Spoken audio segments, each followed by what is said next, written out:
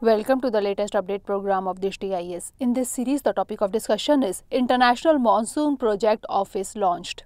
Recently, the International Monsoon Project Office, that is IMPO, has been launched on the occasion of National Science Day 2022. It was launched through a high level virtual program under the Ministry of Earth Sciences. The IMPO will be hosted at the Indian Institute of Tropical Meteorology, that is IITM, Pune, Maharashtra. The establishment of this office highlights the importance of monsoon for the national economy. It also precedes the 7th WMO International Workshop on Monsoons. Now let's discuss about the functions of IMPO. It will support activities of the Monsoons Panel.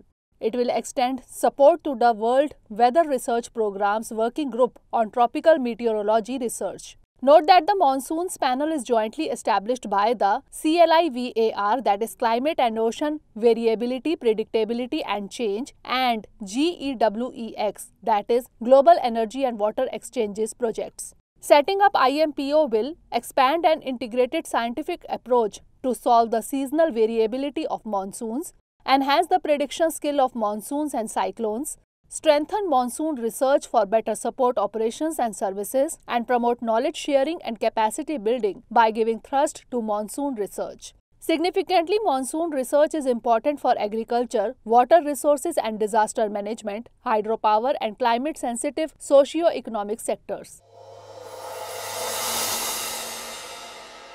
Dear viewers, watch this topic in Hindi on our Drishti IAS Hindi YouTube channel.